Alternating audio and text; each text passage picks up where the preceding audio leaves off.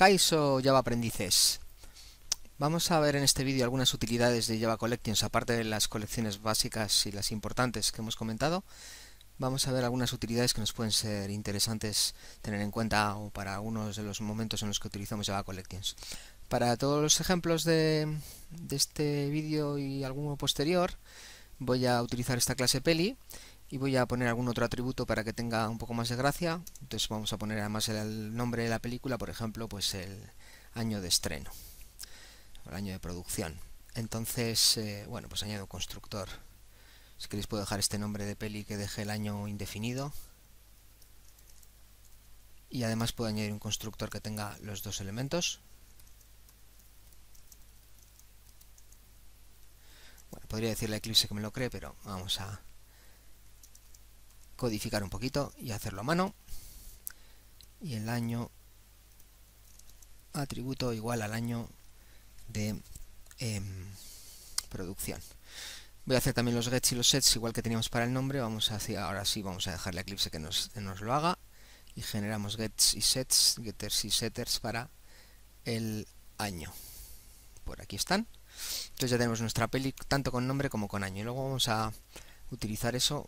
El Comperchu, un vídeo anterior le puse con el negativo, vamos a dejar el Comperchu por defecto, que es que cada película se ordene por nombre, es decir, que por orden alfabético un, una película es anterior a otra si su nombre es anterior por orden alfabético a, esa segunda película. Vale, con esta clase de base, con una película con nombre y con año, vamos a crearnos una clase para hacer las pruebas.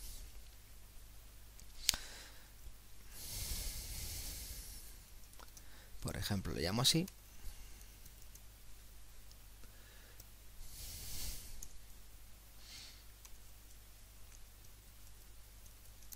Estos ejemplos, el código completo lo podréis descargar en el, el repositorio, tal y como los dejo en el vídeo.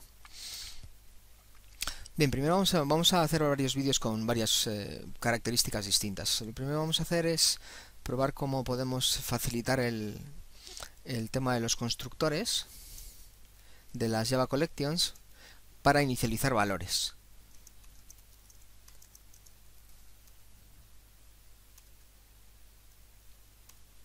Vamos a llamarlo inicializar.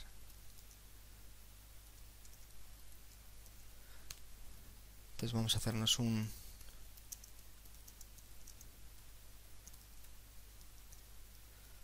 método estático que nos haga esa inicialización. Entonces simplemente aquí vamos a ver cómo inicializar un, un array list. Eh, si queréis vamos a pasar ese array list, vamos a jugar con un array list. Esto mismo en lugar de con un array list se podría hacer con eh, prácticamente cualquier otra estructura de, de las Java Collections. Primero vamos a funcionar un array list y vamos a hacer varias cosas con él. Si queréis podéis probarlo con otras estructuras y veréis que también se puede utilizar. Entonces vamos a crearnos un array list de pelis y vamos a hacer que este método inicializar valores nos lo inicialice.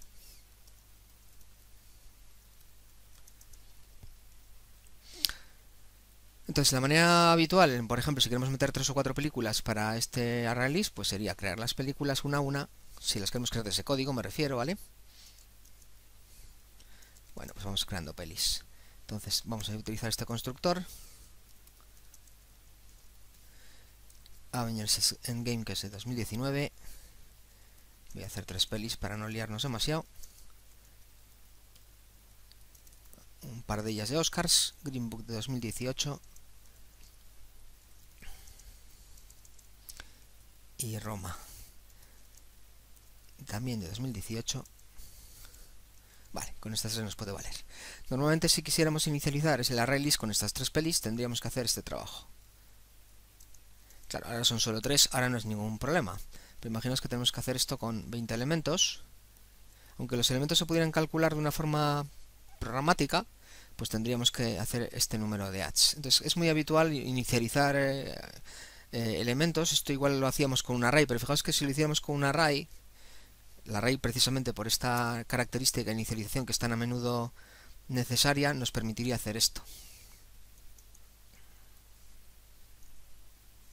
Este es el inicializador del array, que si le ponemos una llave y dentro de las llaves le pones las películas diferenciadas por comas, separadas por comas. Esto es un inicializador que es un inicializador sintáctico. La sintaxis de Java nos permite inicializar un array de una forma muy rápida. El rollo es que fijaos que para inicializar la lista, el array list, no lo hemos podido hacer tan rápido. Voy a ponerlo detrás.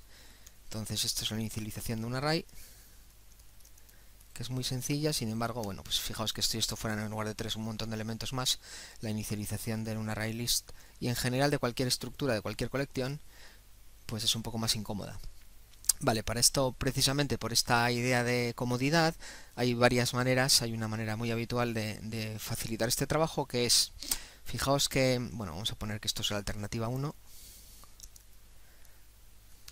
y vamos a ver cómo se puede hacer de otra manera 2. Em, tanto al crear como al, como al eh, inicializar una lista con ads, fijaos que hay un add y hay un add all. El add all recibe collections. ¿Vale? ¿Y es, qué es un collection? Un collection es una interfaz que representa cualquiera de las Java collections que tenga forma de lista de elementos, que tenga forma de enumeración de elementos, es decir, es una estructura lineal de elementos, una colección de elementos. Es decir, un array list es una colección, un hasset es una colección, un triset es, un, es una colección, incluso la lista de claves de un mapa es, también es una colección. Vale, entonces aquí podríamos hacer una doll, idealmente podríamos añadir los elementos, pero claro, como es una colección no podemos añadir los elementos separados por comas, porque estos son tres parámetros en lugar de uno. Pero hay una manera muy fácil de crear una colección partiendo de una lista de elementos, que es utilizando la función dentro de la em, clave de utilidad de la clase de utilidad arrays. Fijaos que hay un método que es estático, que es asList, que recibe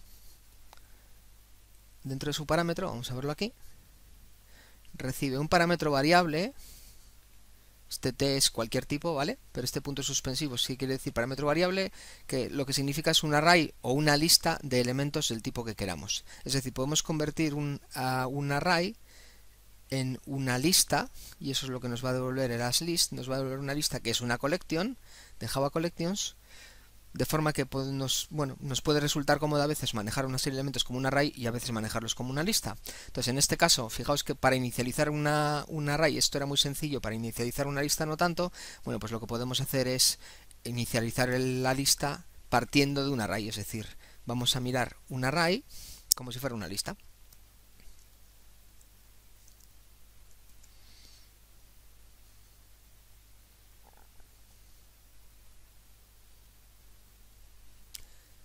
Importo arrays, que es una clase que está en Java útil también.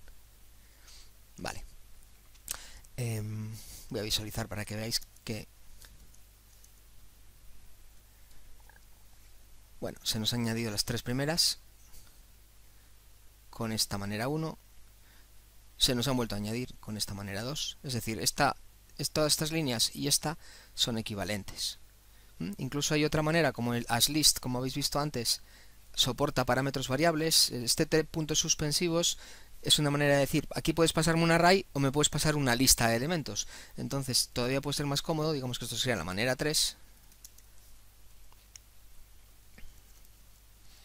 Si en lugar de pasar el array, directamente pasas los elementos. Que es un poco el punto de, perdón, arrays as list.